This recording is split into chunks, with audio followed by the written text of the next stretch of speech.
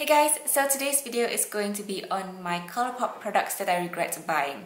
So when I first got into Colourpop, I really wanted to collect everything that Colourpop released and I kind of kept up with it for a while. So I do have quite a lot of things that I have purchased and then later on regretted buying because they didn't work out for me, they didn't look good on me or the formula is just not as good as the other things. So Colourpop did have quite some good stuff when they first started out, so those things are worth collecting. Like their Super Shock Shadows, all their Ultra Matte, Ultra Satin, Ultra Glossy lips, as well as their Ultra Metallic lips and their lippie stix.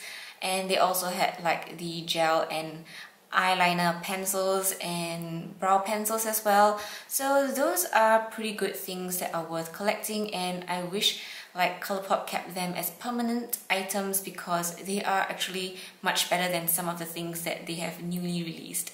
So I think they started to come up with like new stuff towards the spring of 2017 and that is when we have like the pressed powder face duos with the pressed powder blushes and all um, it came out in the Alexis Ren collection as well so the Topaz palette is actually one of the first um, pressed powder face duos that Colourpop came up with and I jumped on that train and I got the Topaz palette. But upon receiving it and trying it out I realized that the bronzer is actually too warm for me. It has got this orange undertone which I personally do not like on my skin tone because it is too muddy and too orange for my liking. So that is something I regret picking up because it's $16 and if like half of the product doesn't work out for me then that's like $8 to waste. The highlighter itself is really nice and glowy and it is a nice golden shade so I can still use that but you know it's still not worth it in my opinion. And then they came out with the blotted lips as well and I'm wearing one of them right now. This is Deja Vu from the Alexis Ren collection and I like that it is like a My Lips But Better kind of shade. So it's very neutral and you can wear this every day with all kinds of looks. And I think this is like the only shade that I quite enjoy um, among all of the blotted lips including the new ones. The formula of these aren't very good. They are pretty dry and hard to apply so they do tug at your lips and because they are so dry it kind of breaks off easily. So mine broke off at the base when I turned it all the way up which is such a pity. And these retail for five dollars. So if you're considering like cost per gram it's five dollars per gram since it only contains one gram of product. Also the darker shades kind of apply patchy because this is such a dry um, formula so it tugs and it doesn't apply evenly. So I think like only the neutral my lips but better kind of colors would work best with this formula but honestly if you're looking for a blotted lip or lip tint you are better off getting a proper lipstick and blotting it down with tissue or getting one from a Korean beauty brand. And then during spring of 2017, Colourpop came up with their Nectarine collection and they were kind of hyping it up because of how these colors were supposed to be trendy. So it comprised of peachy and orange kind of shades. And deep inside of me, I kind of knew that I wouldn't really like these shades because oranges are not my thing and I don't think they look good on my skin tone. But I still went ahead and purchased some things and turns out I really didn't like much of them. I didn't get the entire collection, which is actually just the eyeshadows, but I did get like the face duo and the liquid lips and the super shock shadows. So I'm totally fine with collecting super shock shadows because those have really good formulas and I can always use them as like lip toppers or highlighters or whatnot. But the liquid lipsticks and face duos were just super unflattering on me. I mean, this is one of the shades that I still have lying around. This is lightly and this is an ultra satin lip. But this is honestly too pale and too peachy for my liking and it's just super unflattering. I managed to get rid of the other liquid lipsticks that I got. So one of them was Jacquard and that was like a super bright neon orange and it looked horrible on me and I would never wear that shade. And also the face duo was like super orange, so that wasn't my kind of blush. The highlighter is actually pretty nice because it is like a peachy um, undertone with a golden flip. But because the blush didn't work out for me, I decided to pass it on. I also went back onto the website like a few weeks later to check up on reviews and a lot of these products actually had quite low ratings because of how unflattering these colors actually are. And then they came out with their pink collection, which is phase 2 of their spring 2017 stuff. And I love pinks, but these pinks were just too pink for my liking. I think they kind of were like Barbie doll pinks, so it kind of looks weird on me. And I end up looking like a little bit anime or kiddish with these kind of pinks.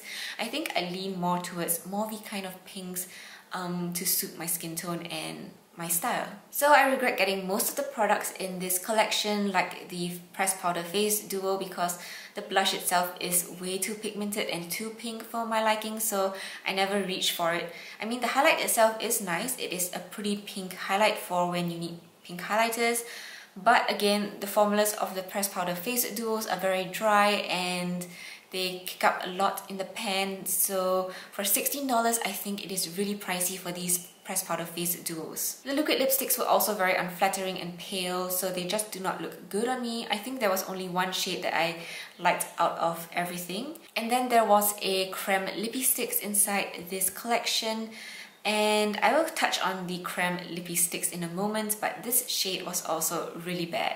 It's super pale and pink. So I think they came out with the new formulas for their creme lipsticks during Valentine's Day, which was probably before the spring stuff. And Colourpop was raving about how good these new creme lipsticks were going to be because they were so soft, creamy and buttery and moisturizing. But in my opinion, the reformulation was a total disaster and they should have just stuck with the old formula. I mean, I can see how these work for dry chapped lips in a dry and cold climate. But coming from a hot and humid climate, this formula just isn't for me. I found these lippie stix to apply on really thick and so it feels really thick and heavy on the lips and also they are super oily and they never dry down so they just get all over the place, your teeth, your cups, everywhere. And so yeah, I really do not like the new creme lippie stix even though they do have like one nice shade from the Nectar collection which is called Faded and that is a really pretty color. But for Valentine's Day they released like three shades and two of them were very unflattering nudes. So my next regretful purchase I'm going to talk about is the Amanda Steele Weekend Warrior palette and this was Colourpop's first like introduction of their pressed powder eyeshadows and for the first formulation it was very dry and it kicked up a lot in the pans and they also applied pretty chalky. And as a palette, these colors weren't very easy to work with because of the color scheme. It's pretty difficult, especially if you are new to makeup. I mean, these colors can go wrong very easily and make your eye look look like a bruise. So yeah, as a palette, I didn't quite agree with the color selection. I mean, as individual like shades, you can definitely work if you mix and match it with something else, but as a palette, it was just a bit hard. And coming back to the blotted lips, we also have the Ultra Blotted Lips that Colourpop released subsequently. And while they produce a nice effect and they are great for um, those light makeup days, the formula just doesn't agree with me and I think a lot of people out there do like this formula but for me it just doesn't stay on. It is very drying and it flakes off on my lips. I mean, even the Ultra Matte lips do not do this on me, so I'm not sure why the Ultra Blotted lips kind of flicks off and just doesn't want to stay on my lips. Also, the darker colors can apply or look patchy because of how sheer the formula is. So it's kind of hard to work with it if you are using a bright or dark color and you want it to look perfect or even. So again, I would say to stick to a Korean beauty brand if you are looking for a lip stain or lip tint kind of effect because they know how to do it better. Another collection of things I regret buying is the Crystal collection. So Colourpop went on this like crystal phase where they had crystal liquid highlighters and sprays and lip balms. And I do think the sprays and lip balms are pretty nice to use, but the crystal liquid highlighters are just not my thing. I find them to be really oily and the pump dispenser itself isn't very good in dispensing product. It always like squirts out too much product. I mean the packaging and all is really nice, but I just never reach for this because it is super oily and it doesn't really set or stick in place. So like throughout the day you can sort of feel it on your face and it transfers on your skin and all. So yeah not a big fan of this. Maybe if you have dry skin you will enjoy this but for me I have oily skin and I don't really use these. I think these were like seven or eight dollars so I bought all three of them and if I'm not to use them it's like a complete waste of money. Finally, I have some Super Shock products that are just not going to complement my skin tone, especially for like bronzes, highlighters and blushes because they are just way too dark for me. I mean, I could go in with a light hand on them, but since I have like so many of the lighter toned bronzes or blushes or highlighters, I mean, why did I even purchase the dark ones for? I'm not too sure why also. I think I was in a phase of collecting everything and I wanted to have them all but honestly I do not need to get them all because I'm not going to use them and it's going to take me forever to use a Super Shock product up anyway. So one Super Shock face product is $8 and I'm embarrassed to say that I have quite a few unusable products because they're just way too dark for me and I've sort of like gotten better in my purchases so I've stopped getting like makeup that I can't use because it's not suitable for my skin tone and also makeup that I know I will not be using or liking and that includes some of the new stuff that Colourpop has released such as their loose pigments and highlighters so I know I will never reach for a loose highlighter or eyeshadow because it's just way too messy in my opinion and I like to keep a neat um, vanity and keep my makeup clean and neat.